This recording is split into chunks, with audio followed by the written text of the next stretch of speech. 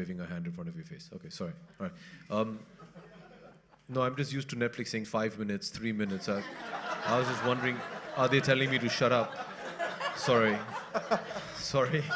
Hurry up, Okay, hurry okay, up. okay, okay. It's a 30 Not second from bite. Netflix. Not from Netflix. Yeah. Yeah. Okay, sorry.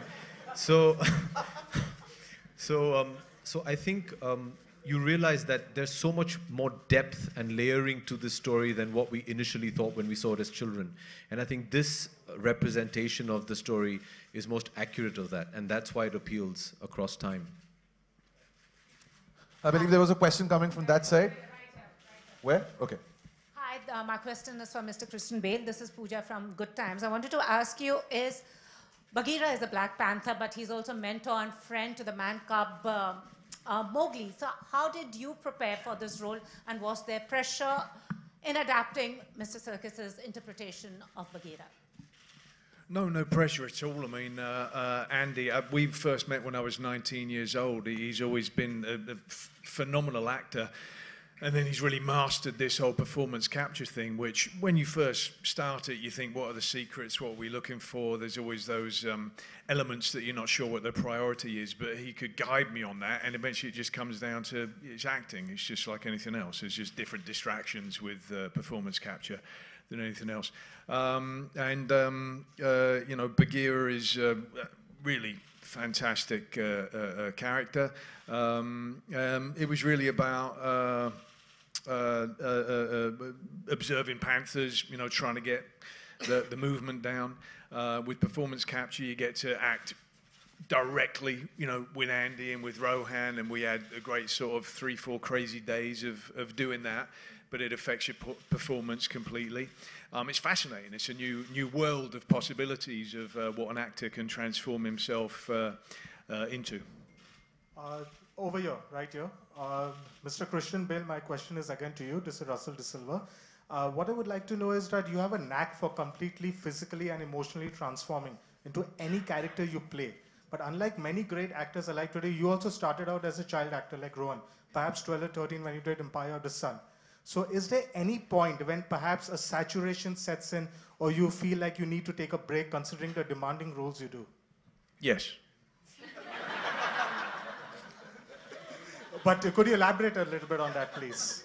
No, sorry. No. I didn't hear, I didn't hear the last bit. elaborate on that? Could you elaborate on that? Elaborate. Um, yeah, you just got to you just got to um, um, um, stop acting, be human. But Rohan's got tons of different interests. He's a really intelligent kid, way more intelligent than I will ever be uh, in, my lifetime. And just being curious about different things, and that informs being a good actor. You got to walk away from it. You got to walk away from films. Um, I imagine every actor up here will say that.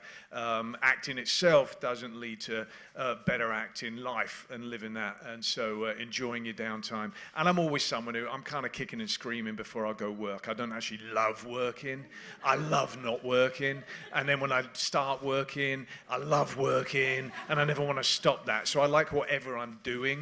You know, but I've recognized that if I don't have downtime, you start to just sort of act like other actors instead of acting like uh, people. Alright.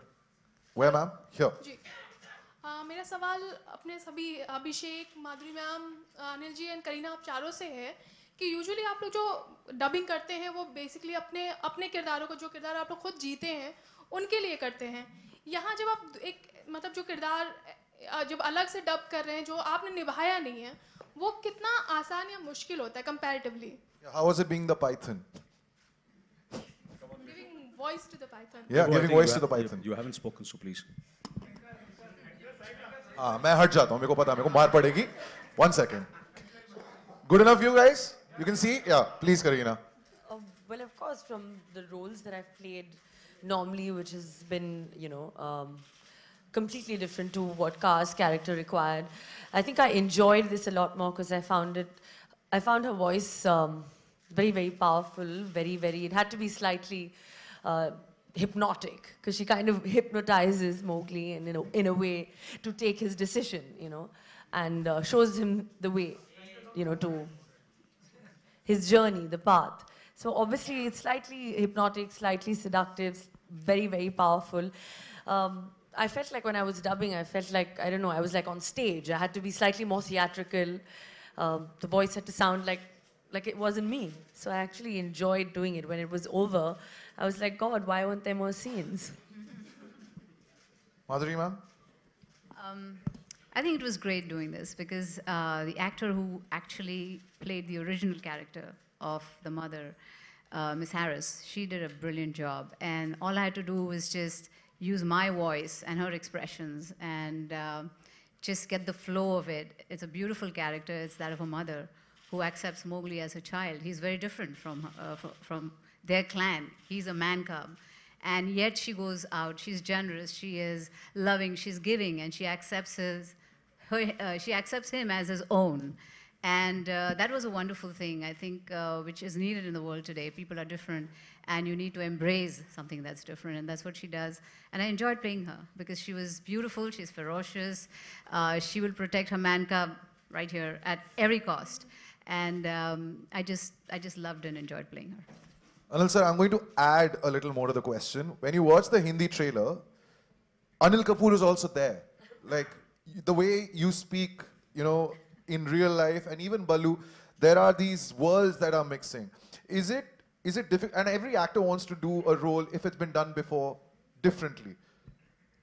Were you watching what was happening in the English version while you were, uh, you know? I did, I did say that. Yeah, I did because I I would uh, you know try out first and I, as I said it, that I, if I got stuck and I was not happy, and I, you know, I would listen to it because I would go back and forth, listen to the theater, go into the, you know, do all those crazy things, and um, you know, and then I had the reference. So I was fortunate that I had the reference of the great Andy. You know, otherwise, still, I think I have to learn a lot. Uh, you know, uh, just the beginning for for me at least, and. Um, I wish I get an opportunity where I would get to work with all these great talented people like Christian Bale and Andy, and uh, of course. Abhishek just mentioned. Yeah, Freida. Uh, Freida, I've all, you know, I, of course I did, uh, uh, you know, the phenomenal film which we did together. It was a great experience and it was wonderful. And again, we are on the stage again after 10 years. Uh, I hope this, this is winning also, awards, basically. No, it's not the award. I think I think more importantly, we should not think about the awards. I think it's the more the people see it and enjoy it and remember it. I think that's what our reward is. Yeah. So, was it easy? No, no, no, no, uh, no not Louis, not you. Abhishek, was it just easy to get the swagger? Because I think Bagheera's character has got a lot of swagger. The way he speaks, uh, he's of course training the man cub Mowgli. Was it easy for you to just be this deep baritone voice which you already have? Ooh, five mark question. Um, no, it, was uh, very, very challenging. Um, what was liberating about this entire exercise is, I think, for the first time in, in, in our films, in our industry, there is a huge element um, of your personality that you always bring to a character, which is probably not prevalent in the West. Uh, in Indian cinema, uh, I mean, that's almost um, a prerequisite. What was nice is you got liberated because you got to be an entirely new character and you weren't confined within those boundaries. Um, what was really nice is, I mean, uh, I wasn't playing a human being, so that was new. And keeping that in mind and keeping the, the you know, the way um, Mr. Serkis had designed the character, the way, you know, Christian had performed it, uh, and then to try and Indianize it, that was very challenging. Uh, also, um, to fit linguistically Hindi into an English dialogue is, is very challenging. They're two completely separate um, languages which have a different tone, a different meter. So that was, um, that was challenging. But um, I think in terms of, to answer your question, I think these two gentlemen brought in all the, the, the, the attitude and swag that Bagheera needed. Um, we merely tried to do, uh, live up to the, the standards that they had set. I'm going to take one more question, ladies and gentlemen. Renuka? Hi. Yes. Uh, hello, everyone. Um, Christian, my question is for you. Um, you have, uh, from Dark Knight to the Black Panther, uh, if you can take us through the voice modulation that you work on. Because I remember one of the interviews you said that your wife was initially, when you said that you did the Black Panther voice, she wasn't really amused with it. But if you could just take us through how you work on uh, your voices. Well, with Batman, I just felt stupid. And when I put on the suit. And so I felt like uh, he should sound uh, as monstrous as he could. And what you're referring to is I went home after the screen test and my wife said, what did you do? And I showed it and she went, oh, well, you blew that, didn't you? and, and um, no, like, like, like the wonderful support. yeah, but, and with Bagheera, um, you know, he's described in, in the book as having, I think it's like, he says something like, it's a voice like uh, dripping honey from a tree. Um, but he's also, he's cunning, he's bold, and he's reckless as well. He's also a wounded individual because he grew up with humans. He saw his mother die, and then he decided to become a panther, and he broke through that lock. But what I liked very much is there's similarities between him and Mowgli, and also him and Shere Khan, because um, for Bagheera, he's had to work out what his identity is and where he belongs. And then um, uh, in terms of him and Shere Khan, uh, uh, um, uh, Bagheera has taken the damage that he's received in his life and he's turned it into love and positivity, whereas Shere Khan has taken that damage and turned it into bitterness and into hatred.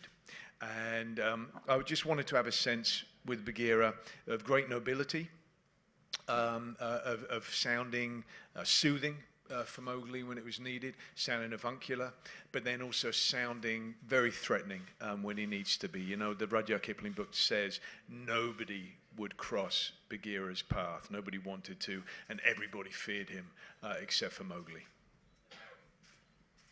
Okay, there's one more question. We have time for one more question. Hello. There's a mic already. Hello. Where's the mic? Yes. Hi, I wanted to ask Freida. Um, Freida, right there in the middle. Hi. Uh, since you've grown up reading the Jungle Book, um, how much of that did you bring into your role for this movie? And also, what was it like working with Andy again? Well, it's always a pleasure working with Andy, and I hope there's many more. Um, you know, Andy and I, when we worked on Rise of the Planet of the Apes, that was my first, my fourth film ever of my career. And I had no idea what motion capture was or what I was going to have to do on set. And it's a very strange thing when you come to set and you watch a grown man in a suit with dots on his face and a camera attached to his head. And then Andy starts performing, and then you completely forget that you're watching a man. You're just watching Caesar come to life. So similarly, I knew, you know, working with Andy on this particular project that all the animals, all the actors lending themselves to motion capture were going to be taken care of because really what he's focused on is a performance and not just, you know, the, the the big set of it all. Um, what was your other part of your question? Was how was it? Oh, how did it influence? How did my childhood influence? Um, you know, the beautiful part about this Mowgli ad- adaptation, and I don't know if any if everyone has seen it, is um, really what Andy does. It's an ode to India. Um, I remember him telling me before. Um, I think it was before I left for South Africa, that he wanted to do my parts in Hindi and he wanted to attempt it and go down that route. And for all of us who remember on Doordarshan, we'd watch Jungle Book every Sunday. And there's so much of the human life in the village that was captured in that version, and I have not seen that version anywhere else in any other adaptation. So for me to go to South Africa and actually work with fellow actors, all speaking in Hindi, all enjoying a, um, a kind of a version of the Holi Festival, um, singing a lullaby written and composed by Nitin Sawhney, all of those beautiful things that I associate with India came to life in this movie. So yeah, very grateful to Andy for letting me speak in Hindi in this film and letting me dub myself.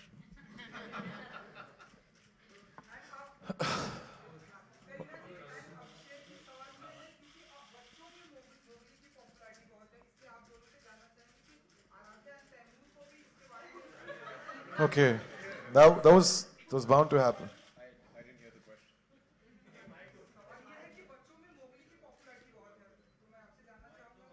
Your own kids.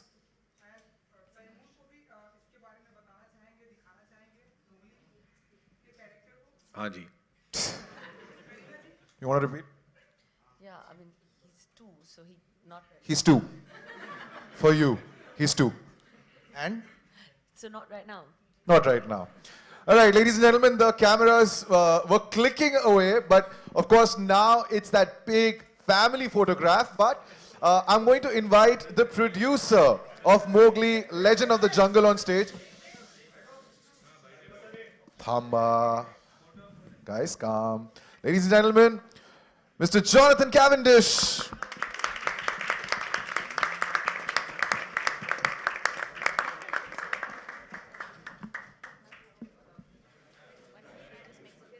Yes, now I'd request the cast if they could uh, just step forward. That's okay. And we'll, we'll remove the chairs. We'll remove the chairs. Ek second. If flash, please. We'll get you all the pictures. Abhi flash chalega.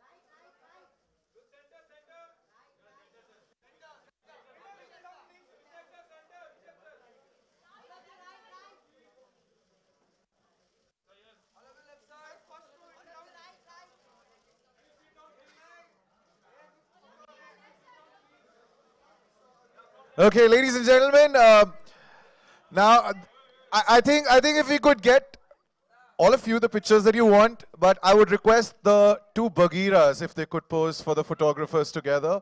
Of course, Abhishek and Christian, if you could pose. If you could just step forward, Christian, Abhishek. Ladies and gentlemen, the two Bagheeras.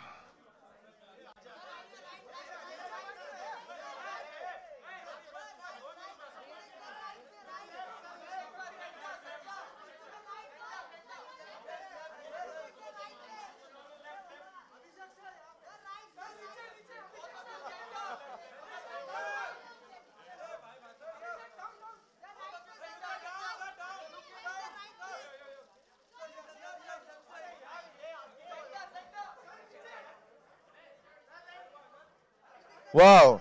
Super. Thank you. Thank you, Christian. Thank you, Abhishek. Uh, of course, now if I could request the two Baloos. We got Rohan and Louis now. And then we get the two Baloos as well.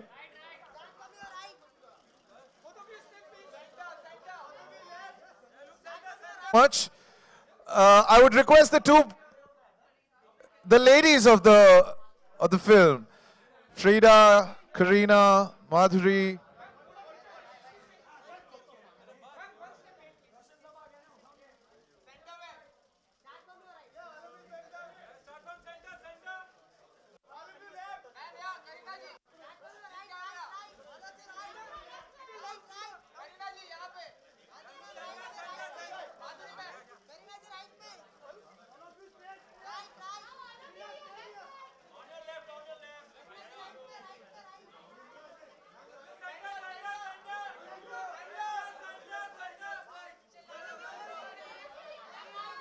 Okay, thank you. And uh, the final invitation to the two Baloos, Andy Serkis and Mr. Anil Kapoor. Oh, there you go.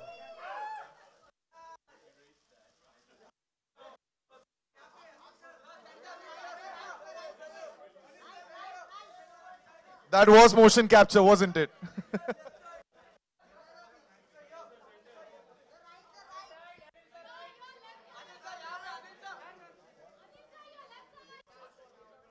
All right. Thank you, Andy. Thank you, Anil sir. Thank you, Freida. Thank you, Madhuri ma'am. Thank you. Thank you, Abhishek. Thank you, Kareena. Thank you, Louis. Thank you. Thank you, Rohan. Thank you. And thank you, Jonathan. Thank you so much. Ladies and gentlemen, remember, 7th of December, Mowgli, Legend of the Jungle, streams on Netflix. And of course, there's a premiere in the evening. Hope to see you there. Thank you so much.